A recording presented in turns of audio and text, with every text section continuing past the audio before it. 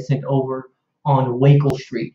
According to Realist, it's a uh, it, uh, the property's over 2,100 square feet. It's a two bedroom, two and a half bath.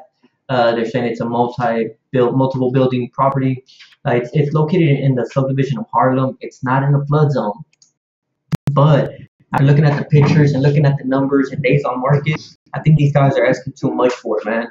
Uh, so it looks like it has mold all over the first floor. I don't know if it was flooded. I don't know what their problem is, but there's uh, this is all within the last year, and this is all within a mile radius of the activity. So there hasn't been much because uh, the days, you know, the amounts are just, you know, the only way you're gonna get 190 or 192, 195 is if they were built past 2010. But uh, the 129, you know, it's model rated to a three. The problem is, even though I think the amount of money you're gonna have to put into it, just because of the size of it, for an ARV of 129, if you're at 75, I think that house just needs too much.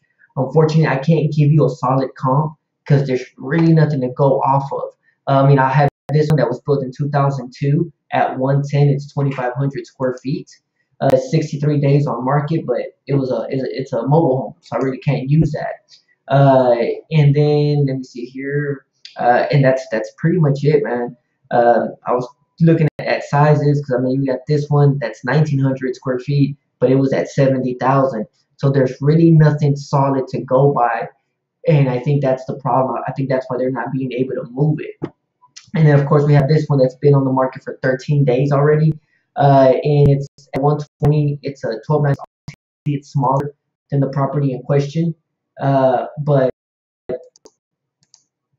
it's, it, it still hasn't sold, right? So that's just what's what's currently active. And this is like i said within one year uh within one within one mile radius but there's just really nothing to go off of. But uh what i wanted to do was now that i have you here i'm gonna go ahead and send this uh send this link to you so you can see it for yourself.